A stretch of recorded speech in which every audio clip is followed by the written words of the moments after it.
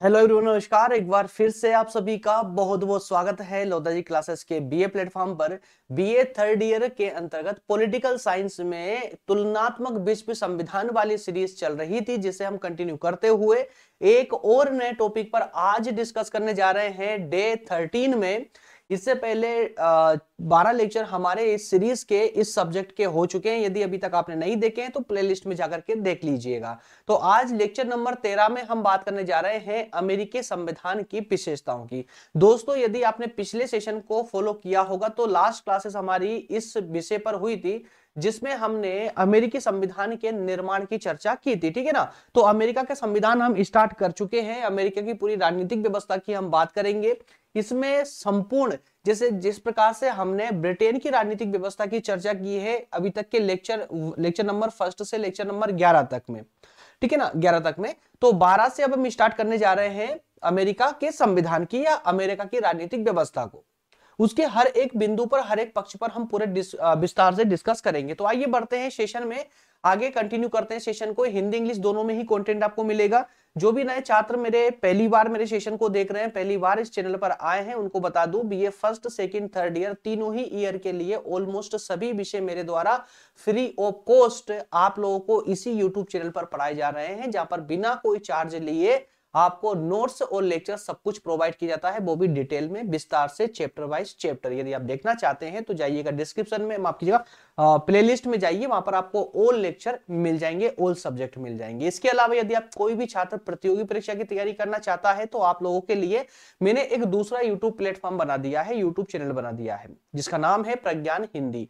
यहाँ पर क्लासेस भी स्टार्ट हो चुकी है, जहाँ पर मैं टॉप फाइव इंडियन जी के सीरीज़ पर डिस्कस कर रहा हूँ। इसमें वन लाइनर क्वेश्चनों पर बात कर रहे हैं, जिसमें पाँच हज़ार क्वेश्चन आपके सभी सब्जेक्टों से संबंधित देखेंगे। कौन कौन से सब्जेक्ट ऐसे होंगे? तो जिसमें हिस्ट्री होगा हिस्ट्री इसके अलावा पॉलिटी होगा जियोग्राफी होगा साइंस के तीनों पार्ट होंगे इन्वायरमेंट होगा इकोनॉमी होगा इथिक्स होगा, हिंदी इंग्लिश होंगे। सारे सब्जेक्ट में इस चैनल पर देने वाला हूँ आप लोगों को। वो भी फ्री ऑफ़ कॉस्ट ठीक है ना? टेलीग्राम ग्रुप को ज्वाइन करना मस्ट है। ताकि आपको डेली क्लासेस आपको वहाँ पर मिलती रहे। चलिए शुरू करते हैं। अपना आज का सेशन ही आपका सिलेबस है, जिसके अकॉर्डिंग क्लासेस आपकी चल रही है। और इसमें अभी तक हम फ़र्स्ट यूनिट को पूरी तरह कवर कर चुके हैं।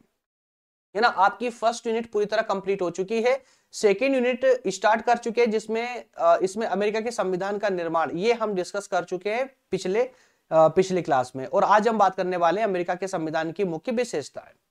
क्लियर है? इसी प्रकार से अमेरिका की कार्यपालिका पर डिस्कस करेंगे उसके बाद व्यवस्थापिका न्यायपालिका वहाँ की दलीय व्यवस्था।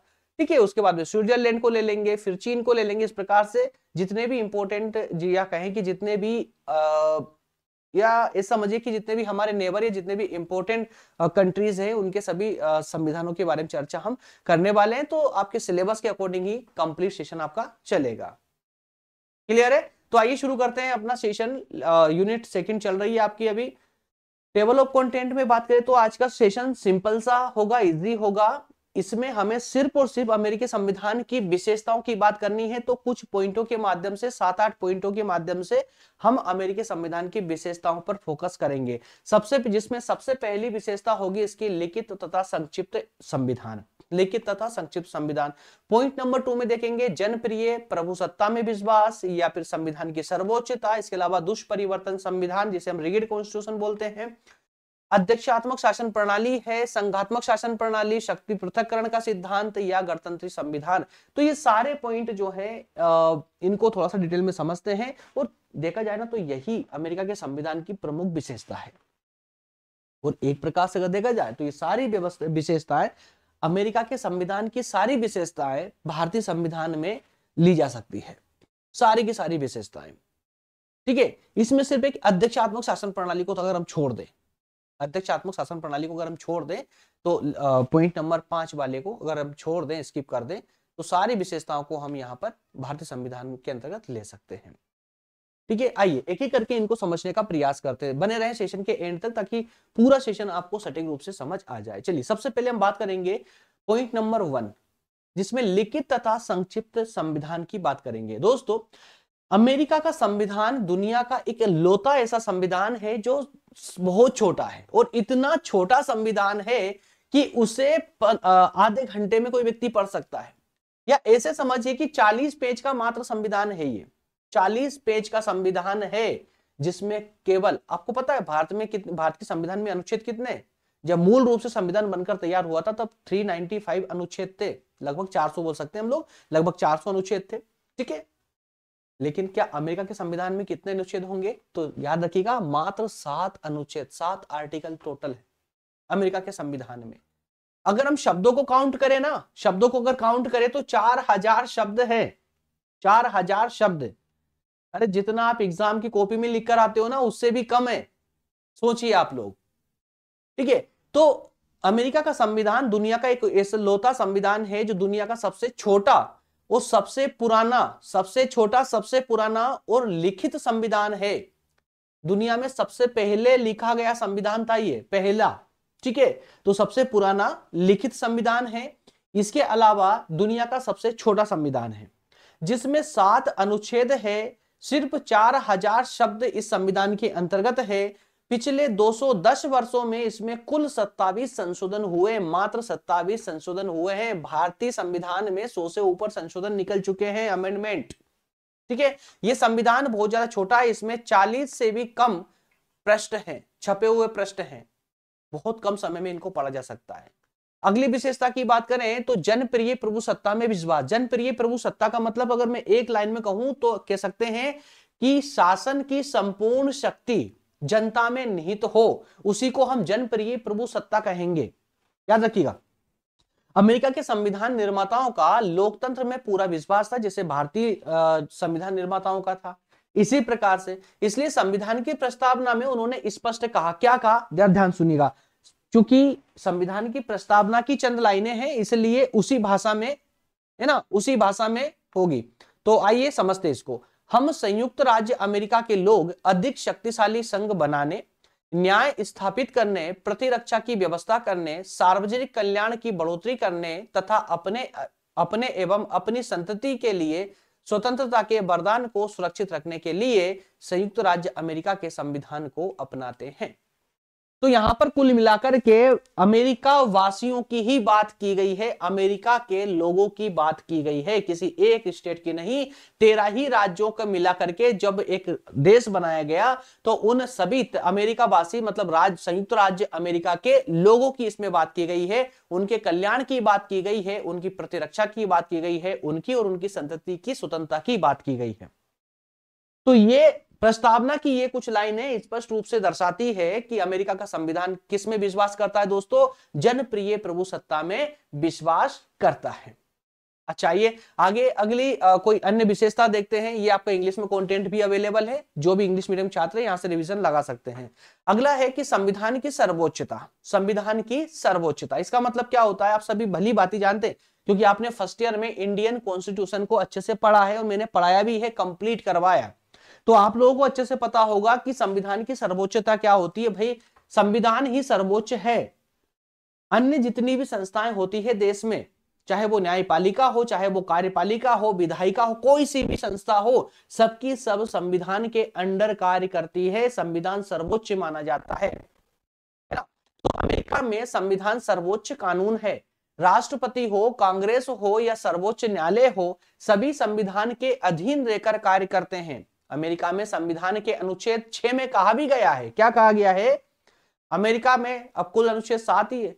तो छठे अनुच्छेद में क्या कहा गया है? कहा गया है कि यह संविधान और इसके अनुसार बनाए हुए सभी कानून, संयुक्त राज्य अमेरिका के प्राधिकार के अधीन की हुई सभी संधियाँ जो भविष्य में और जो भविष्य में की जाएँगी, देश का सर्वोच्च कानून होगा। देश का सर्वोच्च कानून होगा, लेकिन किसके अंडर में? संविधान के अंडर में। क्लियर है? अगली अन्य विशेषताओं में दुष्परिवर्तनशील संविधान। इसका मतलब होता है कठोर संविधान। इसको आसान शब्दों में कहें तो दुष्परिवर्तनशील को हटा करके कठोर कर दीजिए, कठोर संविधान। अमेरिका का संविधान इतना कठोर या रिगिड प्रकृति का है कि इसमें परिवर्तन करना आसान नहीं है। इसमें परिवर्तन करना बहुत कठिन कार्य है, इसलिए इसमें अभी तक लगभग 200 से भी ज़्यादा वर्षों में मात्र सत्तावीस संशोधन मात्र हुए हैं। बात समझ आई? जबकि भारतीय संविधान को उठा करके देख लीजिए, जो कठोर भी है, वो लचीला भी है। इसमें अभी लगभग सत्तर पिछहत्तर वर्षों में ही सौ से ज़्यादा संशोधन हो चुके हैं। समझ आई? चलिए, अगली कोई विशेषता है, अगली है अध्यक्षात्मक शासन प्रणाली। तो ये अमेरिकी संविधान की एक ऐसी व्यवस्था है, या ऐसी विशेषता है संविधान की, जो भारतीय संविधान की विशेषता से इसको अपने आप को पृथक करती है। सुनिए अमेरिका के संविधान निर्माता देश के लिए एक ऐसी शासन व्यवस्था चाहते थे जो प्रजातांत्रिक भी हो और मज़बूत भी हो, स्थायी भी हो। समझिएगा। तो अब किसी भी देश की शासन व्यवस्था मज़बूत हो या सशक्त हो मतलब स्थायी हो, इसके लिए क्या आवश्यक है? इसके लिए आवश्यक है किसी एक व्यक्ति के हाथों में शासन की बागडोर होनी चाहिए। तब उस देश की शासन व्यवस्था कैसी हो सकती है? मज़बूत हो सकती है, स्थायी हो सकती है। तो लेकिन साथ ही वो चाहते थे कि प्रजातांत्रिक भी होना चाहिए मतलब लोकतंत्र भी होना चाहिए उस देश में। जनता को पास भी अधिकार होना चाहिए मतलब एक व्यक्ति का शासन भी हो, वो जनता का शासन भी हो। तो ऐसी एक अनोखी व्यवस्था ये लोग चाहते थे मतलब अमेरिका के संविधान निर्माता चाहते थे। इसलिए देश में उन्होंने अध्यक्षात्मक शासन प्रणाली लागू की, जिसमें अमेरिका में अमेरिका के राष्ट्रपति, है ना, प्रमुख होते हैं। सर्वोच्च शक्ति उनके अंडर में होती है। देश की वास्तविक शक्ति राष्ट्रपति के हाथों में होती है, राष्ट्रपति में नीत होती है। राष्ट्रपति कांग्रेस के प्रति उत्तरदायी नहीं होते। हाँ ये बात एक अलग है। कि कांग्रेस मतलब कि कांग्रेस हम वहाँ की संसद को बोलते हैं। तो वहाँ की संसद के भी अपने अधिकार है, राष्ट्रपति के अपने अधिकार है, याद रखिएगा। तो लेकिन अमेरिका की संसद राष्ट्रपति को पद से नहीं हटा सकती। अमेरिका के राष्ट्रपति को पद से हटाने की सिर्फ़ एक ही कंडीशन है, वो है महाभियोग चला करके, सिर्फ़ महाभियोग चला करके। क्लियर है? चलिए, अगला को लेते हैं। नेक्स्ट है नेक्स्ट विशेषताओं में है संघात्मक शासन प्रणाली, जो कि भारतीय संविधान में भी झलकती है। अमेरिका में ब्रिटेन के विपरीत संघात्मक शासन प्रणाली है। क्यों कहा गया है ऐसा? क्योंकि ब्रिटेन में संघात्मक नहीं, बल्कि एकात्मक शासन प्रणाली होती है ब्रिटेन में, आप पढ़ भी चुके हैं। तो अमेरिका में संघात्मक शासन प्रणाली को अपनाया गया है। अमेरिका में शक्तियों का विकेंद्रीकरण है है ना? संघात्मक और एकात्मक में अगर मैं सामान्य शब्दों में कहूँ तो संघात्मक शासन प्रणाली मतलब कि वहाँ पर एक केंद्र होगा और कुछ राज्य होंगे। ठीक है, केंद्र की अलग शक्तियाँ होगी और राज्य की अलग शक्तियाँ होगी। इसको हम कहेंगे संघात्मक जो छोटे छोटे राज्यों से मिलकर के एक संघ का निर्माण हुआ हो, संघ बना हो, उसे संघात्मक शासन प्रणाली कहेंगे। ब्रिटेन में ऐसा कुछ है नहीं है। ब्रिटेन में सिर्फ़ एक केंद्र सरकार ही है। क्लियर है? तो अमेरिका में शक्तियों का विकेंद्रीकरण है। केंद्र और राज्यों में संविधान द्वारा शक्तियों का विभाजन किया गया है। इसके अलावा संघात्मक शासन की अन्य विशेषताएँ, लिखित संविधान, दोहरी नागरिकता, स्वतंत्र और निष्पक्ष न्यायपालिका, ये सब क्या है? तो ये संघात्मक शासन प्रणाली के ही लक्षण है। क्लियर है? तो संघात्मक शासन प्रणाली के अलावा ब्रिटेन के आ, अमेरिका के संविधान में अमेरिका की राजनीतिक व्यवस्था में अन्य विशेषताएँ भी है जैसे नागरिकों को स्वतंत्रता देना है ना? सर्वोच्च न्यायालय का मतलब सुप्रीम कोर्ट का एकदम निष्पक्ष होना क्लियर है? और दोहरी नागरिकता देना यह अपने आप में एक अलग ही अनूठी विशेषता है अमेरिका के संविधान की या अमेरिका की राजनीतिक व्यवस्था की। इसके अलावा शक्ति का पृथककरण का सिद्धांत, शक्ति पृथककरण का सिद्धांत। तो संयुक्त राज्य अमेरिका में फ्रांसीसी दार्शनिक मोन्टेस्क्यू द्वारा प्रतिपादित शक्ति पृथककरण के सिद्धांत को भी अपनाया गया है। यहाँ से एक प्रश्न याद रखिएगा आप लोग, शक्ति पृथककरण का सिद्धांत जो है, किसने दिया था? किसने दिया था? तो ये फ्रांस के एक दार्शनिक थे मोन्टेस्क्यू। उन्होंने अपनी पुस्तक में इस सिद्धांत को प्रतिपादित किया था और इस सिद्धांत को अमेरिका के संविधान निर्माताओं ने अपने संविधान में अपनाया है। इस सिद्धांत के अनुसार वहाँ कार्यपालिका और न्यायपालिका की शक्तियाँ अलग अलग होंगी। कार्यपालिका की शक्तियाँ अलग होगी, न्यायपालिका की शक्तियाँ अलग होगी और इनका एक दूसरे पर कोई हस्तक्षेप या दबाव नहीं होगा। दोनों अलग अलग कार्य करेंगे। जैसे कार्यपालिका, राष्ट्रपति, न्यायपालिका मतलब सुप्रीम कोर्ट पर दबाव नहीं बना सकते। क्लियर है? चलिए, अगला है, नेक्स्ट इसकी विशेषता है गणतंत्रीय संविधान। गणतंत्रीय संविधान। जी हाँ अमेरिका का संविधान गणतंत्री संविधान है। क्यों ऐसा? इसको लेकर के एक परिभाषा में यह कहें कि आ, मिस्टर मेडिसन ने इसकी परिभाषा इसको परिभाषित करते हुए कहा है कि गणतंत्र एक ऐसी सरकार है जिसकी शक्तियों का स्रोत प्रत्यक्ष या अप्रत्यक्ष रूप से जनता का महान समूह होता है।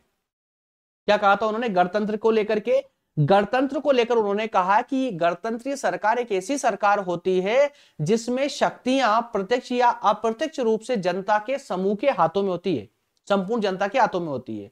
और इन की शक्तियों का प्रयोग उन लोगों के द्वारा किया जाता है जो पद पर निश्चित समय के लिए बिठाए जाते हैं जनता के द्वारा ही। ठीक है और कब तक बिठाए जाएँगे? जनता की इच्छा तक। या जिनको बिठाया गया है उनके अच्छे व्यवहार तक। यहाँ प्रदेश का सर्वोच्च पदाधिकारी राष्ट्रपति होता है, जिसे जनता ही निर्वाचित करके बिठाती है। याद रखिएगा तो अमेरिका का राष्ट्रपति जनता के द्वारा प्रत्यक्ष निर्वाचन में निर्वाचित होकर के और अपने पद को संभालते हैं। क्लियर है? दोस्तों, इसी प्रकार से मात्र ये आठ जो विशेषताएँ थी अमेरिकी संविधान की एग्ज़ाम के पॉइंट ऑफ़ व्यू से बस इनकी तैयारी कर लीजिएगा। इतना कॉन्सेप्ट पर्याप्त तो होगा आपको आज के लिए या इस टॉपिक के लिए। नेक्स्ट सेशन में हम पूरा डिटेल में थोड़ा विस्तार से और थोड़ा सा ज़्यादा टाइम लेते हुए हम डिस्कस करेंगे अमेरिकी कार्यपालिका की। अमेरिका कार्य बेसिकली तो देखिए, आज का जो सेशन था वो हमें कल वाले सेशन में ही कंप्लीट कर लेना चाहिए था, लेकिन फिर सेशन ज़रूर से ज़्यादा लंबा हो जाता और सिलेबस में क्या है कि अलग अलग सेपरेट तरीके से दो टॉपिक दिए गए थे, इसलिए मैंने अलग अलग पढ़ाया है इसको, ताकि आप लोग कल से कंफ्यूज ना होने बोले पता कि सर फ़र्स्ट वाला टॉपिक तो आपने कराया सेकंड वाला नहीं करवाया तो वो कंफ्यूजन नहीं होना चाहिए। इसलिए मैं चैप्टर वाइज चैप्टर आप लोगों को पढ़ा रहा हूँ। नेक्स्ट सेशन में हम कार्यपालिका की बात करेंगे। इस कार्यपालिका में राष्ट्रपति महोदय को भी या उनसे संबंधित जो भी तथ्य होंगे, उनको भी हम कवर करने का प्रयास करेंगे। ओके फ्रेंड्स अमेरिकी कार्यपालिका नेक्स्ट सेशन में होगी, जाने से पहले मैं आप लोगों को फिर से एक बार याद दिला दूँ, क्योंकि आप लोगों की एक प्रकृति है नेचर है, आप लोगों का बार बार भूल जाते हैं। डिस्क्रिप्शन में व्हाट्सअप चैनल की लिंक दे रखी है, मैंने जल्दी से ज्वाइन कर ले। बहुत कम छात्र अभी तक वहाँ पर ऐड हुए हैं। जल्दी से व्हाट्सअप चैनल को ज्वाइन कर ले, क्योंकि टेलीग्राम कभी भी बंद हो सकता है।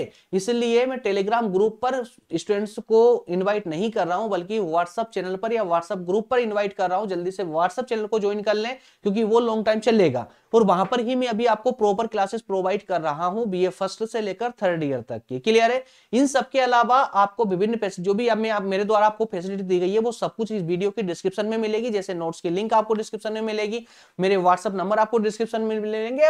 और भी कई आवश्यक लिंक है जो आपको इस वीडियो की डिस्क्रिप्शन में मिल जाती है। ओके फ्रेंड्स मिलते हैं अगले सेशन में। नेक्स्ट सेशन में बात करेंगे कार्यपालिका की। तो चलते हैं और सेशन अगर आपको अच्छा लगा है तो लाइक कर दीजिए और पहली बार आप चैनल पर आए हैं, पहली बार सेशन को देख रहे हैं तो सब्सक्राइब ज़रूर से कर ले चैनल को। नेक्स्ट सेशन में मिलते हैं। बहुत बहुत धन्यवाद। Thank you thank you so much